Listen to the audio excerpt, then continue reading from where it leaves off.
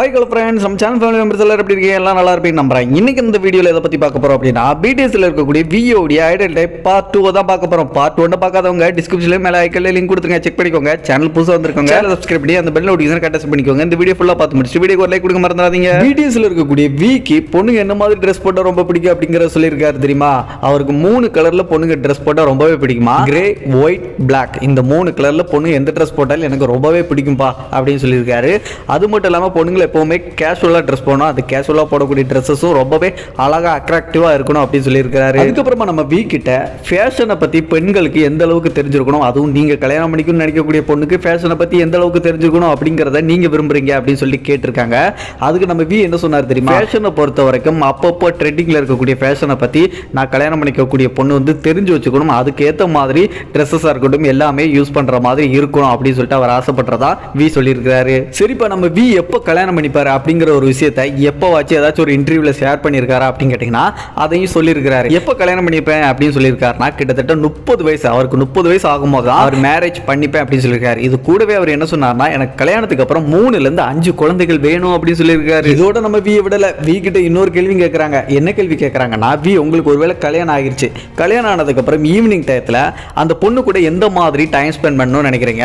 அந்த நேரத்தை எப்படி நீங்கள் கழிக்கணும்னு விரும்புறீங்க அப்படின்னு சொல்லிட்டு கேட்குறாங்க அதுக்கு நம்ம வி என்ன சொன்னார் தெரியுமா? நான் கல்யாணம் பண்ணதுக்கு அப்புறம் அந்த பொண்ணு கூட ஈவினிங் டைம் இருக்கிறேன் அப்படின்னா அந்த பொண்ணு எனக்காக இந்த மில்க் ஷேக் இருக்குல்ல அந்த மில்க் ஷேக்கும் எடுத்துக்கிட்டு அதில் சாக்லேட்லாம் போட்டு எனக்காக ஒன்றும் அந்த பொண்ணுக்காக ஒன்றும் எடுத்துகிட்டு வந்து கொடுக்கணும். அதை வந்து பொண்ணே ரெடி பண்ணி வந்து கொடுக்கணும். அதை நாங்கள் ரெண்டு பேரும் குடிச்சுக்கிட்டு டைம் ஸ்பெண்ட் பண்ணோம் அந்த ஈவினிங் டயத்தை அப்படின்னு சொல்லியிருக்காரு. ஸோ இதை பற்றி நீங்கள் என்ன நினைக்கிறீங்க அப்படிங்கிறத கமெண்ட்ல போய் சொல்லியிருக்கேன் சரி நான் இப்போ இந்த மில்க் ஷேக்லாம் சாக்லேட்லாம் போட்டு ரெடி பண்ணி கொடுக்கணும் அப்படின்னு சொல்லிட்டு வி கேட்டார்ல. இதை சொன்ன உடனே பிடிஎஸ்ல இருக்கக்கூடிய வியை பற்றி புதுசாக தெரிஞ்சுக்கிறவங்க அப்போ வி நல்லா சமைக்க தெரிஞ்ச பொண்ணை தான் எதிர்பார்க்குறாரா விரும்புகிறாரா அப்படின்னு சொல்லிட்டு நினைப்பீங்க. ஆனா உண்மையிலே அது கிடையாது. ஓரளவுக்கு சமைக்க தெரிஞ்ச பொண்ணாக இருந்தால் கூட ஓகே தான் அப்படின்னு சொல்லிட்டு வி சொல்லியிருக்காரு. ஆனால் நம்ம வி ஸ்ட்ரிக்டாக இன்னொரு விஷயத்த சொல்லியிருக்காரு. அப்படி என்ன சொல்லியிருக்காரு அப்படின்னா நான் கல்யாணம் பண்ணிக்கும் நடிக்கக்கூடிய பொண்ணு என்னை எந்த அளவுக்கு அக்கறையாக பாசமாக பார்த்துக்கிறாங்களோ அதை விட பல மடங்கு கிட்டத்தட்ட ஒரு ட்ரிபிள் ஃபோர் மடங்கு என்னுடைய அப்பா அம்மாவை பாசமாக அக்கறையாக பார்த்துக்கணும் அப்படி எங்கள் அப்பா அம்மாவை பாசமாக அக்கறையாக பார்த்துக்கிட்டாங்கன்னா அந்த பொண்ணுக்கு என்னுடைய லவ்வை எந்த அளவுக்கு அள்ளி கொடுப்பேன் அப்படிங்கிறத சொல்கிறதுக்கு வார்த்தையே இல்லை அப்படின்னு சொல்லிட்டு நம்ம வி சொல்லியிருக்காரு. இதை பத்தி நீங்க என்ன நினைக்கிறீங்க அப்படிங்கிறத மறக்காம கமெண்ட்ல சொல்லிடுங்க பிடிஎஸ் ஆர்மி சரி இந்த வீடியோவில் விக்கு எதெல்லாம் பிடிக்கும்? அவருடைய லைஃப் பார்ட்னர் எந்த மாதிரி இருக்கணும்னு சொல்லிட்டு அவர் ஆசைப்படுறாரு அப்படிங்கிற விஷயத்தெல்லாம் நம்ம தெரிஞ்சுட்டு இருக்கோம் இந்த வீடியோ பார்த்துட்டு இருக்க பிடிஎஸ் ஆர்மி நீங்க வியை பத்தி எந்த அளவுக்கு தெரிஞ்சிருக்கீங்க அப்படிங்கிறத நான் தெரிஞ்சுக்கணும்னு ஆசைப்படுறேன். அதுக்காக ஒரு சில டெஸ்ட்டை வச்சு நம்ம தெரிஞ்சுக்கலாமா? இப்போ நான் சொல்ற இந்த ஒரு விஷயம் கண்டிப்பா உங்களோட மைண்டுக்குள்ள ஓடிட்டு இருக்கோம் என்ன ப்ரோ நாங்க வியோடைய ஐடல் டைப்பை தெரிஞ்சுக்கலாம்னு தான் வந்தோம். நீங்க திடீர்னு டெஸ்ட் வைக்கணும்னு சொல்றீங்க. டெஸ்ட்னாலே எங்களுக்கு பயம் ப்ரோ பேசாம ஐடல் டைப்பை சொல்லுங்க ப்ரோ அப்படின்னு சொல்லிட்டு நினைப்பீங்க. ஆனா அந்த டெஸ்ட்ல நீங்க எந்த அளவுக்கு விஏ பத்தி தெரிஞ்சு வச்சிருக்கீங்க அப்படிங்கறத எனக்கும் தெரிஞ்சுக்க முடியும். பிளஸ் நீங்க எந்த அளவுக்கு விஏ பத்தி தெரிஞ்சு வச்சிருக்கீங்க அதெல்லாம் கரெக்டா அப்படிங்கறதையும் கரெக்ஷன் பண்ணிக்கிட முடியும். தெரியாத சில விஷயங்களை தெரிஞ்சுக்கிற முடியும் இல்லையா? சோ அதுக்காக தான். So, முடிஞ்ச அளவுக்கு உங்களால ஆன்சர் பண்ண முடியுதான்னு பாருங்க. ஆன்சர் பண்ண முடியல தெரியல அப்படின்னாலும் பிரச்சனை இல்ல. நான் கரெக்டான ஆன்சரை உங்களுக்கு கமாண்டில் சொல்றேன். நீங்க முடிஞ்ச அளவுக்கு கண்டுபிடிச்சா கூட போதும். சரி இப்போ ஸ்டார்ட் பண்ணலாமா?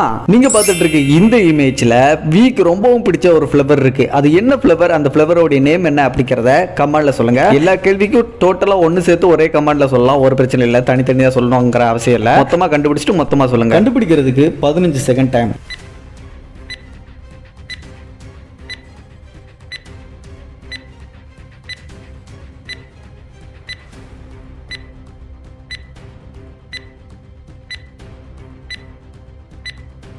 அடுத்ததா வீக் ரொம்ப பிடிச்ச பழம் எதுங்கிறது உங்களுக்கு தெரியுமா? தெரிஞ்சிச்சு அப்படின்னா கண்டுபிடிச்சு கமெண்ட்ல சொல்லுங்க. கண்டுபிடிக்கிறதுக்கு பதினஞ்சு செகண்ட் டைம்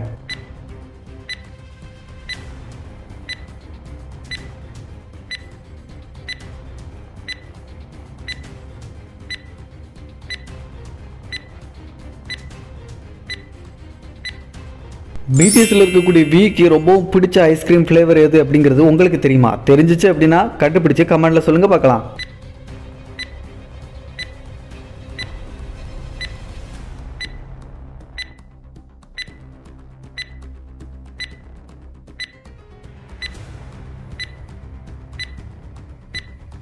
சரி எல்லாத்துக்கும் கரெக்டாக ஆன்சர் பண்ணியிருப்பீங்கன்னு நம்புறேன். ஸோ இப்போ நம்ம பிடிஎஸ்ல இருக்கக்கூடிய வியோடைய ஐடல் டைப்பை கண்டினியூ பண்ணலாமா? சரி நம்ம விக்கு ரொம்ப பிடிச்ச பிளேஸ் எதுன்னு தெரியுமா? இது என்ன ப்ரோ கேள்வி?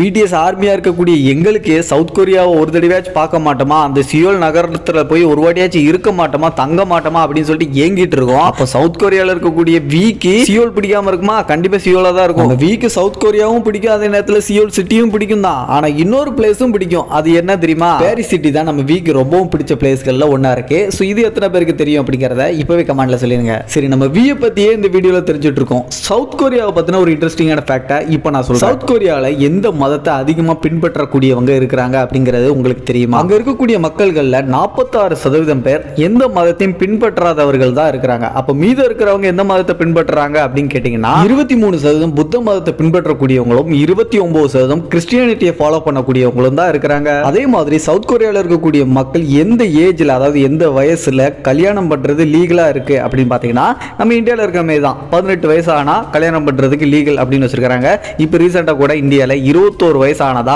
இருந்தாலும் பெண்ணாக இருந்தாலும் கல்யாணம் பண்ணணும் அப்படிங்கிற சட்டத்தை மாற்றிருக்கிறாங்க எது எப்படி இருந்தாலும் நம்ம வி முப்பது வயசுல தான் கல்யாணம் பண்ணுவேன்னு ஆல்ரெடி சொல்லிட்டாரு. ஓகே ஃப்ரெண்ட்ஸ் இந்த வீடியோவில் அவ்வளோதான் இந்த வீடியோ பார்ட் டூ பார்ட் த்ரீயோட வீடியோ இன்னும் கூடிய சீக்கிரத்தில் நம்ம சேனலில் அப்லோட் ஆகும். அந்த வீடியோ மிஸ் பண்ணாமல் பார்க்குறதுக்கு நம்ம சேனல் இன்னும் சப்ஸ்கிரைப் பண்ணாமல் இருக்கீங்கன்னா சப்ஸ்கிரைப் பண்ணி பெல் நோட்டிஃபிகேஷன் கரெக்டாக பண்ணி வச்சுக்கோங்க. அப்போ தான் அந்த வீடியோ மிஸ் பண்ணால் பார்க்க முடியும். நம்ம சேனலில் சிரிக்கவும் சிந்திக்க வைக்கிற மாதிரியான நிறைய இன்ட்ரெஸ்டிங்கான ஃபேக்ட் அதுக்கப்புறம் பிடிஎஸை பற்றியும் நம்ம அப்லோட் பண்ணிட்டு இருக்கோம். நம்ம சேனலை கொஞ்சம் சப்போர்ட் பண்ணி எல்லா வீடியோஸையும் கொஞ்சம் ஸ்கிப் பண்ணாமல் பார்த்து எல்லா வீடியோஸும் பார்க்கும்போது ஒரு லைக்கும் கொடுத்து விட்ருங்க அப்போ தான் அடுத்தடுத்த வீடியோஸ் போடுறதுக்கு எனக்கு மோட்டிவாக இருக்கும். ரீசெண்டாக அப்லோட் செய்யப்பட்ட எல்லா வீடியோட லிங்கும் கீழே டிஸ்கிரிப்ஷன்லையும் மேலே ஐக்காலையும் கொடுத்துருக்கேன். செக் பண்ணிக்கோங்க. அடுத்த ஒரு சூப்பரான வீடியோ நான் உங்களை சந்திக்கும் வரை நான் உங்களை சேகர் பாய் பாய்